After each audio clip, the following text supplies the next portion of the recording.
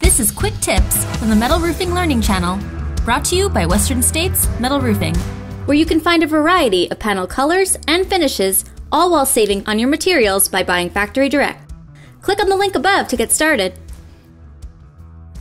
Use of the following video content is subject to the warning, disclaimer of warranties, and limitation of liability as set forth on this screen.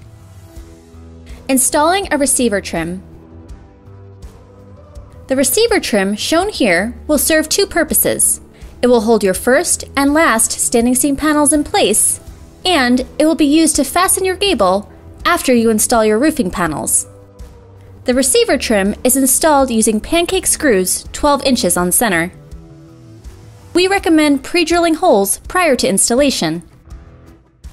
The trim is simply cut to size and installed flush to the gable side of your roof, 1 inch from your ridge line and flush to your eave. For long runs, the receiver trim is simply butted end to end. No overlapping is needed.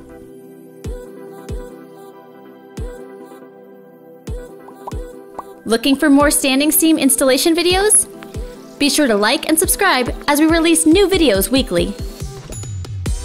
Learn how to install a ridge cap and more. Check out these videos.